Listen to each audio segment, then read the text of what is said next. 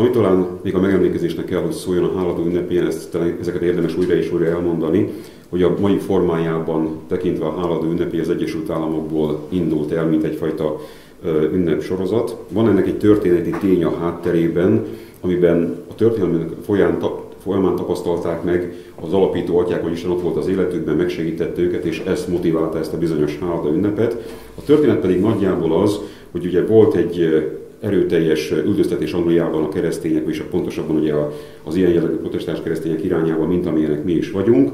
Menekülni kellett, ugye adott volt az új világokban, menekülhettek az Egyesült Állam, a mai Egyesült Államok területe, és hát ugye fölvállalták azt, hogy hajóúton elmegyünk oda, és ott majd új életet kezdünk, viszont télen érkeztek, vagy tél elején érkeztek, vetni már nem volt idő, gyakorlatilag meg igen haltak volna, ha az indiánok nem segítik ki őket azon a télen egyfajta élelem adományokkal.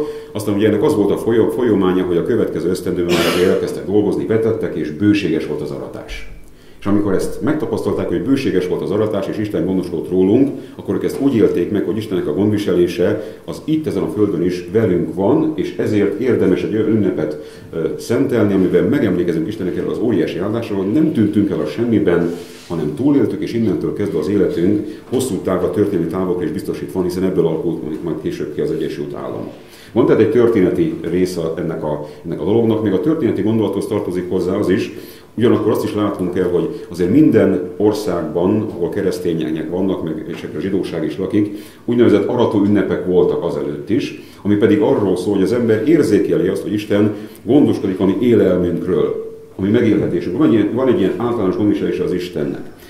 Ö, és azt gondolom, hogy ez, az ünnepnek ezt a mezőgazdasági vonatkozását minden egyes háladó ünnepén talán érdemes egy picit kiemelni, meg szem előtt tartani, hiszen azt fogalmazza meg, amit Jézus Krisztus a szavaival írhatnánk vissza, hogy Isten felhozza napját jókra és gonoszokra, és esőt ad mindenkinek, jókra és gonoszoknak egyaránt, tehát hogy létezik egy általános gondviselés a mindenható Istennek, és hogy ez nagyjából meg szokott lenni, és amikor megtapasztaljuk, hogy ez nincs, akkor érezzük, hogy óriási a baj.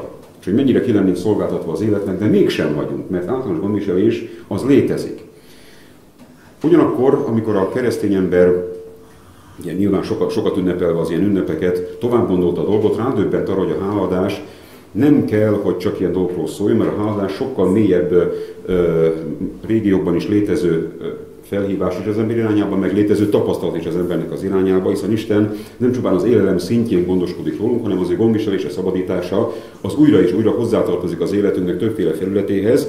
Gyakorlatilag bármi hála indokká válhat a hívember számára, amiben Istennek a jóságát valamilyen módon észreveszi, vagy ami Istennek a jóságára visszavezethető tapasztalat. És az ismert ugye ige, ige alapján én néhány ilyen ö, okot szeretnék kiemelni az igéből, ami alapján mi most hálát adhatunk a mindenható Istennek. Adjunk hálát például azért, mert Istent megismertük, és ebben a megismerésben benne van az a lehetőség újra és újra, hogy a múltunk rendbe kerüljön. Az ember néha el tudja rontani a dolgait nagyon, hogy ez nem a semmibe vezet, hanem ebből van kiút, és van, megmenekedés, van menekedés, ezért azt gondolom érdemes a hívő embernek hátadni, mert sokszor látjuk emberek életében, hogy nem szükségképpen létezett a, ez a fajta lehetőség és tapasztalat az ő számukra. Amikor az ember ifjúként nekifut az életnek, akkor sokszor leszokta értékelni az előző generációknak a, a teljesítményét, meg ugye meglátja a dolgait, a hibáit, amiket valóságosan elkövettek, és aminek megvannak a következményei, és amikor nekifut az életnek ennek a kezdetén, akkor ő úgy szokta gondolni, hogy én azért ennél okosabb vagyok, majd én megmutatom, hogy kell ezt csinálni. Én is így voltam, tehát ez hozzátartozik ugye az életünknek egyfajta szakaszához. Aztán elköveti vagy ugyanazokat a hibákat, mint az előzőek, tehát mégsem tanult belőle, pedig azt hitte, hogy fog tanulni belőle, vagy a sajátjait követi el, de azok is vissza, visszahatnak az, az ő életében, és vagy lelkismereti terheket jelentenek számára, vagy esetleg vannak más következményei is. És az ember egyszer csak arra döbben rá, hogy hibát hibára halmoztam, és a javarészét esetleg nem tudom jóvá tenni. Ha példákat keresünk, gondoltunk ilyen példákra is, például, hogy valaki részegessé vált, vagy drogossá vált, ugye ma már az is lehetséges, és ezt a dolgot megkínlódja a családja, vagy, vagy valamilyen szinten átérződje a környezete, és elidegenednek tőle az emberek. És egy idő után teljesen magára marad, és már nem bíznak benne. A többiek és egyszer csak nem tud mit kezdeni ezzel a helyzettel. Visszaköszönt az életében az, amilyen volt. Ugye történelmi szinten gondolkodunk, ilyen jellegű problémákról, ugye volt a, a nyugat-európai kultúránk, elindult, gyarmatosított, kirabolt vidékeket, rabszolgálmát tett nemzeteket, vagy ki is írtott nemzeteket, és akkor egyszer csak a dolog visszaköszön úgy, hogy miután most már előregettünk, elpuhultunk, a saját ugye, téves nézeteinknek a, a folyamányaként, egyszer csak jön a migráció. Mint egyfajta félelmetes és ijesztő tapasztalat, meg fenyegetés. Visszaköszönt a hibánk, és nem biztos, hogy meg tudjuk oldani.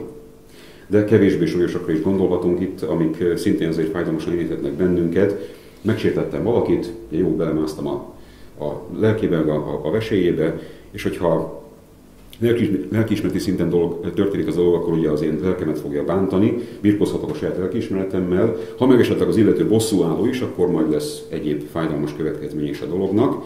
Szóval amit szeretnék mutatni és hangsúlyozni, hogy szembefuthatunk néha azzal, hogy a tetteinknek van visszahatása és negatív visszahatása az életünkben.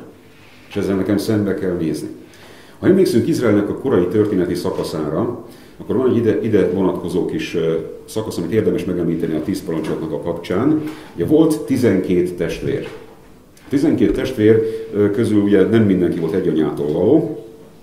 József az egy másik anyától való volt, és hát ráadásul pont pont ő volt a kiskedvenc, árulkodós is volt egy kicsit, meg talán kicsit nagyképű is volt, ugye néha ez ráfogható volt Józsefnek a korai szakaszára, és a 12 testvér, 11 testvér dühében, meg kegyetlenségében eladta Józsefet rabszolgának. Egyiptomban. És persze ennek a dolognak volt rövid távon is egyfajta pozitív visszacsengés, és Isten volt annyira kegyelmes ez a néphez, hogy Józsefet ott nagy emberítette, és az élelmi problémát megoldotta számukra, de hosszú távon ez a dolog mégiscsak oda vezetett, hogy Egyiptomban voltak akkor is, amikor az a fáraó jött hatalomra, aki Józsefet már nem ismerte, és elkezdett ugye velük kegyetlenkedni. Ez ide visszavezethető. Eladtuk Józsefet, egyszer csak visszaköszönt az életünkben ez a dolog, és József eladásakor erre senki nem számított, hogy ez így, így fog lefutni ez a dolog, de bizonyos értelemben mégis ide jön, jön vissza a probléma. Igaz, hogy Isten terve teljesült be mégis ezzel, a, ezzel az eseménnyel, és amire szeretnék most végül kiukadni, hogy pont ez az óriási üzenet ebben az igében, hogyha Isten nélkül történik az, hogy én elhibázott dolgokat, akkor ennek az eseménynek egyetlen következménye lett volna, hogy a hibám miatt belebukok történetileg a dologba, és rabszolgák maradunk, és a rabszolgaként eltűnünk a sűjesztőbe. Ez történt volna Izrael, Izrael fiaival. Istennel ebből a rossz lépésből az lett, hogy ott nemzetileg megnövekedtek, utána pedig kaptak államszervezési tapasztalatokat, hogyha maradnak Ábrámnak a, az élet szintején, akkor nem szükségképpen lettek volna ilyen tapasztalatai. Egyiptomban látták az államszervezési tapasztalatokat, és innentől kezdve megindult az a lehetőség, hogy egy másik irányba induljon az életük. És mindez üzenet azt gondolom, ott feszül a, a második versben, azt mondja az Úr nekik, én az Úr vagyok a te Istened, aki kihoztalak Egyiptomból, a szolgaság házából. Azért kerültél oda, mert elkövetted, amit elkövettél, ennek meg lett a következménye, meg lehetett volna a következménye, de én ott voltam, és mert ott voltam, ezért a múltad nem negatíve csapódott vissza az életedben, hanem pozitíve tudtál kijönni belőle. Most, ha belenézünk az életünkbe, akkor azt gondolom, ez a fajta tapasztalat azért nálunk is tetten érhető. Ugye nekem is voltak rossz lépéseim, amik csúnyává is válhattak volna, de nem ez történt. Hívemként azt éltem meg, hogy Isten, Isten ott volt az életemben, és még az ilyen negatív lépésekből is tudott kihozni jót. És hogyha ezt tapasztaltuk, ez egy tapasztalat az életünkben, akkor érdemes hátadnunk azért, hogy Isten a múltunk rossz, lépéseket, rossz lépéseit sem a végzetünké teszi, hanem mondjuk a képzésünk eszközévé és valami nagyon jót hoz ki belőle, és végül kiderül az, hogy, hogy a mindenható Isten bennünket ezáltal is előrevezet és fölemel, és tereli bele a sorsunkat. Ha tehát volt tapasztalatunk hogy a múltunk nem, nem visszaesett a, a, a nyakunkba, és nem összetört bennünket, hanem furamodon előre vitte az életünket, pedig elhibáztuk a dolgokat, akkor adjunk hálát érte. A másik ok, amit szeretnék hála indoként megemlíteni ebből az igéből, adjunk hálát azért, mert megismerhetjük az Istent, és benne igazi távlatokat kapott az életünk. Nem esik vissza a múlt a nyakunkba, távlatokat kap az életünk. Csengődő néha szoktam hivatkozni más vallásokra, lehet, hogy a testvérek már mondják, de majd azért még fogok, mert ugye foglalkozok vele, tehát akkor csak előjön majd a gondolataimban. A témánkhoz azonban illik, és most megint el fogom mondani a dolgot. Más vallásokon és filozófiáknál szoktam belebotlani abba a dologba, hogy úgy látják, hogy ennek az életnek a végső értelemben az ég a világon semmi értelme és semmi célja nincs. És ez valahogy mindig visszacsapodik a különböző filozófiai tanulmányozásánál. Ha ateistákat nézzük, akkor úgy nagyjából azt szokták mondani, hogy hát ha az ember él maximum 90 évet, az már nagyon jó, de ez fölösleges volt, mert minek élt. És ami nem maradandó, úgyis meghalok, akkor most minek voltam itt. Ez ugye egyfajta filozófiai célja az életnek, hogy minek voltam itt. Körülbelül ez, ez így, így jön le. Vagy ugye mások úgy látják, mint a buddhisták vagy a hinduisták, hogy az élet egy állandó újraszületések körforgása. A hinduisták szerint kiút sincs belőle, csak forgunk, forgunk, néha poloskaként jövök vissza, néha meg emberként, szóval ez egy ilyen, hm, nem tudom micsoda. Buddhisták meg azt mondják, hogy egyetlen megoldás van, a nirvána, ami ugye ők se tudják megmondani, hogy mondjuk semmi, vagy a nagy egység, abból való föloldódás, megszülök tudni magamról, akkor már jó lesz nem egy nagyon jó jövőkép ez nekem, szóval biztos azt mondják rá a buddhisták, hogy hát nem eléggé láttam át az életnek a mélységeit, de én azt mondom, hogy e- ezt én nem szeretném, nekem ez nem annyira, nem, nem annyira klassz távlat, nem pozitív távlat. De a távlattalansághoz azt gondolom nem szükséges egy másik vallás vagy filozófiai érdeklődés, ez kicsit a mai embernek a tudományossága, és a tudomány szerint ugye úgy van, hogy visszazuhan a világunk a nagy semmibe, vagy ugye a nagy fekete lyukba, akkor azért semmisül meg, vagy addig tágul a világegyetem, amíg egyszer csak ugye olyan mértékben tág lesz, hogy igazából már fény, meg erő, meg, meg meleg, meg egyebek nem létezik, és akkor, akkor meg hidegben megfagy, kész, annyi. De nem baj, mondják, mert addigra mi úgyse leszünk. Na, ez is egy nagyon jó távlat. Tehát, hogy akkor hm, emberi minek vagyunk, nem tudjuk. És ha meg egyéni szintre bontjuk a dolgot, akkor a távlattalanság ugye a mai ifjúságnak nagy részét e, ijesztően érinti, mert azt se tudják, hogy én most tanulok valamit, az holnap ad-e nekem munkát azért, hogy meg tudjak élni, és keresek-e belőle pénzt.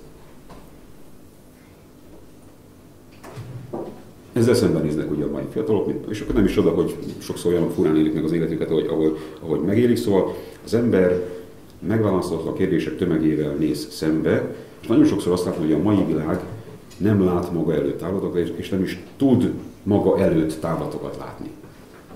És a Biblia pedig arról beszél, hogy a távlat az a mindenható Istennel együtt létezik az embernek az életében. Aki megteremtette az életet, megteremtette az embert, az a valaki tud célt adni, vagy a célt visszaadni. Az élet nem volt céltalan eredetileg. Célja volt. Mi tettük tönkre. Az Isten vissza tudja adni az életnek a célját, ő tud távlatokat adni, tud kiutat mutatni a távlattalanságból. Gondoljunk csak hitünknek a két legnagyobb ígéretére, vagy legerőteljesebb ígéretére, örök élet, üdvösség.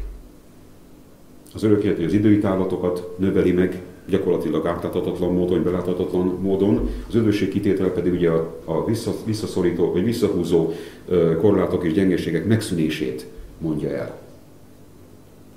Ezek, ezek már aztán igazán távlatok. A korlátlan fejlődés távlatnak, távlatnak az útját villantja fel előttünk, ugye az új szövetség. És ismét ugye érdemes ránéznünk, erre a és így idézett bibliai versre azt mondja a szöveg, hogy én az Úr vagyok a te Isten, aki kihoztalak téged Egyiptomból, a szolgaság földjéről. Az egyik oldalon, ugye az előbb kifejt, kifejtettük, jelentette ez azt, hogy megszabadított bennünket a múltunk következményétől.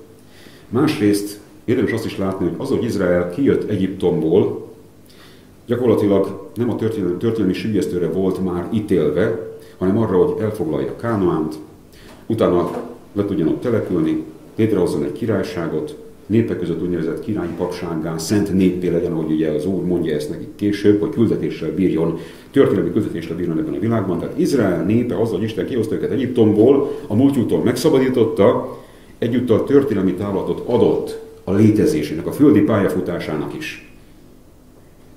És azt hangsúlyozottan Istennel együtt volt ez a dolog. Ő tudott távlatot adni az ő életüknek. Most amit ugye szeretne mindez a kép elmondani nekünk, hogy aki adja Istennek, hogy őt megszabadítsa, az egyúttal távlatokat is kap. Az élete kinyílik. A kiteljesedés felé fut. Örökkévaló távlatokat kap, hogy az új szövetségnek a, a fényében, másrészt meg a földre vonatkozó küldetést is kap, és már a földi, földi pályafutásom sem értelmetlen. A rövid távú pályám sem értelmetlen. Most ha érzékeljük azt egyrészt, hogy az egy, ez, ez a világ, amelyben létezünk, mennyire távlattalan és mennyire céltalan, és mennyire úgy éli meg az életet, hogy de fölösleges, hogy vagyok, és én nem is tudom, hogy minek is vagyok, de hát kell lenni, mert ugye beleszülettem ebbe az egészbe. Én meg tudom azt, hogy mint hívő ember távlatokat kaptam, de nagyon nagyokat. Akkor azt gondolom, ez megint egy olyan dolog, amiért hálát adhatok a mindenható Istennek. Mert ez a távlat gyakorlatilag az egész életemet betölti. És olyan célokat mutat, amit igazán az egész, az, az egész világon senki nem tud nekem mutatni.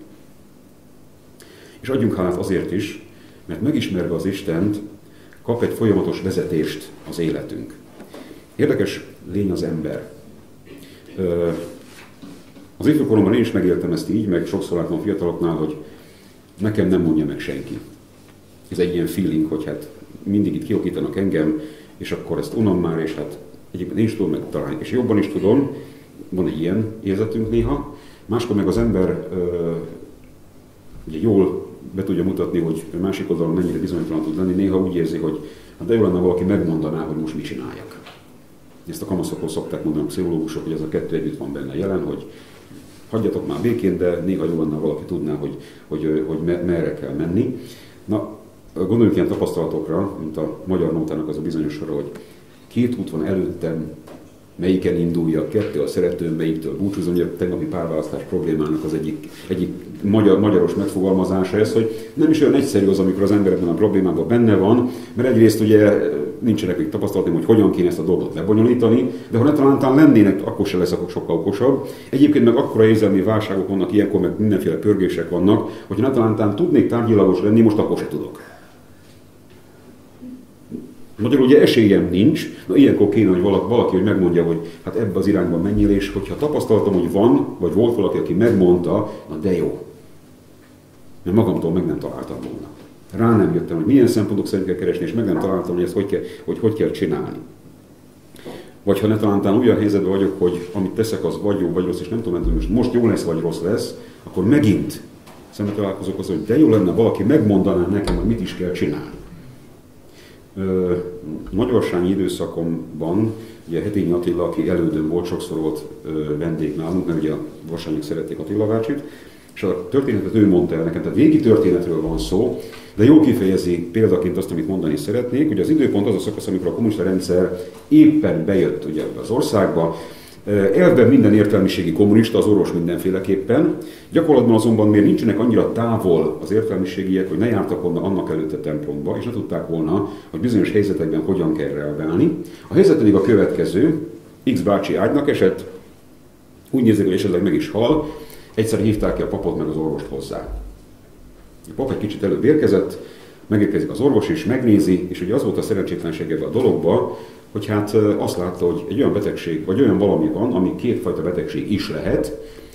Ha erre a betegségre az egyik változatnál beadja azt az X gyógyszert, akkor bácsi föl kell, ha a másik betegségre adja, pedig a tünet ugyanaz, akkor meghal. Csak ennyit látott ugye a lelkipász, hogy az orvos megfordult a fal felé, valamit ott motyogott magába, visszafordult, és beadta az injekciót, és a beteg jobban lett. És de nagyon kellett, hogy akkor valaki segítsen. Adjon egy sugalatot, hogy most akkor mit is csináljak, meg gőzöm nincs. Pedig tanultam, ott a diploma a zsebembe róla. Szóval tanástalanok voltak akkor az emberek, és tanástalanok vagyunk nagyon sokszor mi is.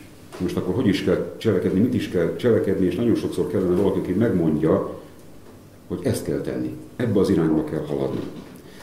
Ha belenézünk a világunkba, Sokszor éljük át, meg látjuk azt, hogy mennyire tanástalan a világ. Mennyire nem tudja, hogy merre kell adni, és mit kell csinálnia. És akkor most ezt megint érdemes ránézni a tíz parancsolat első felére, azt mondja hogy a szöveg, akkor mondta Isten mindezeket az igéket. És az egyik, hogy ne legyen neked más Istened rajtam kívül, aztán pedig egy csomag más utasítás. Most azt kell látnunk, hogy az a világ is legalább annyira bizonytalan volt, meg tanástalan volt, mint amennyire mi azok vagyunk. És az emberek akkor, akkor is igyekeztek valamiféle biztos kapaszkodót találni, és akkor keresték ugye a szellemvilágból a náluknak okosabbnak, meg hatalmasabbnak a tanácsát, és Izrael egy óriási megtapasztalás után, egy bizonyíték után kapja Istentől a törvényt, ami gyakorlatilag eligazítás számunkra arra nézve, hogy a vallás életterületén, a személyes életterületén, meg a polgári területén mit lehet csinálni, és mit nem szabad és ez a vezetés. Valaki, aki a világot megalkotta, aki minden menetet tud benne, ő megmondja, megmutatja, hogy merre kell menni. Én ott állnék az úton, és nem tudnám, hogy ez az utca Zsák utca, az a másik az nem Zsák utca, vagy rossz irányba vezet, vagy szóval hol van jó út. Én nem tudnám. De aki tudja, az megmondja nekem. És akkor tudom, hogy merre kell menni. És az új szövetség még ennél is többet ígér nekünk. Ugye a Biblia az egy általános tanácsadás az ember számára, nagyon sok mindent leszabályoznak, ha arra figyelembe veszem, akkor elég biztosan tudok járni a mindennapokban, de Isten ennél is többet ígér az új szövetség embernek, mert azt mondja, hogy az én szent lelkemet adom nektek. Kicsit tovább lépve, hogy a személyes vezetés is meglegyen. Amikor olyan helyre érünk, ahol a általános tanács az nem biztos, hogy teljes mértékben mindent le tud fedni, ott az is meglegyen, hogy neked konkréte, most ebben a helyzetben mit kell lépni. Hogyan kell cselekedni. És ez nem természetes, hogy ilyen van. Ilyen vezetés létezik a hívő ember számára, ez csak a hívő embernek létezik. De ha átéljük, hogy van ilyen, hogy én kapok személyes vezetést az életemben, általánosat, mint a Biblia, és személyeset, hogy merre kell haladnom, és tudhatom, hogy merre kell haladnom, akkor azt gondolom, ez megint egy, egy nagyon fontos hála. Összefoglalva ugye az eddig mondottakat, a rengeteg hálókból, ami létezik ebben a világban, én hármat szerettem volna kiemelni itt a adott igéhez párosítva. Adjunk állát azért, hogy Istennel együtt a múltunk nem rendezetlen. Ha vele találkoztunk, akkor mindaz, ami mögöttünk van, akár rosszat tettünk, akár jót, az, az a javunkra válik. Úgy fogja a dolgot rendezni, hogy az életünket az építse, előre vigye. Ne kiráncsa alól az alapokat, hanem előre vigye. És ez nagyon fontos. Vele az életünknek távlatai vannak. Egy távlattalan világban, hogy én láthatom a célt, hogy arra kell haladni, nagy vonalakban is, meg lebontva az én sajátletlen is, hogy célt láthatok magam előtt, ez egy óriási ígéret, adjunk hálát, hogy van ilyen távlat előttünk. És hogy az úton biztosan tudok haladni, mert tudom, hogy a következő lépés jó lesz, vagy nem, mert az Isten megmutatja nekem, hogy a lépésem az jó vagy sem hogy vezetést kapok a mindennapokban, ez megint ok a hálaadásra. Adjunk hálát érte.